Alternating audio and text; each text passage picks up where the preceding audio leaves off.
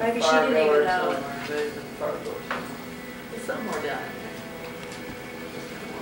there. And I wondered about some other, because she said she might need more surgery, Yeah, she well, wasn't gonna have it. Yeah, all her tests come out fine, She probably just needs more time. yeah.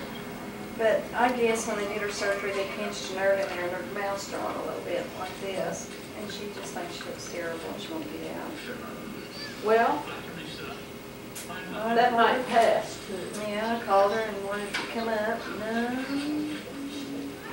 Uh, I had a friend out there in the country, she got up one morning, she said, before I got out of bed, I could feel something wrong with her That's face. right. No, she had a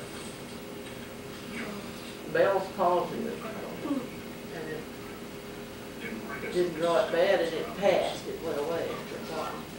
But My sister-in-law had one of those, and her mouth was crossed just a little bit, but you don't notice except when she talks. Well, Mother's isn't drawn down, it's just kind of, oh, right, yeah.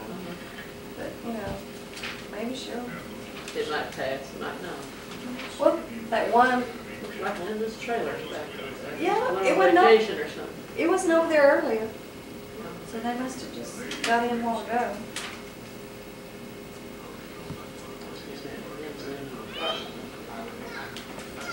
She the guy, girl that drives the green, or the Yeah. She such a nice big household. and she's- Was she married? Mm-hmm. You'll see a teenage boy over there, and that's her boy. You'll see him once in a while, I think he stays with his dad. Dad lives in town. Yeah. He works up in. Surprised he came back and they left the horse here.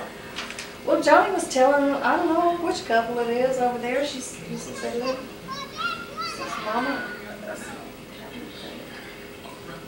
The mama has a bedroom and the kids has a bedroom and the daddy's bedroom is downstairs on a cot.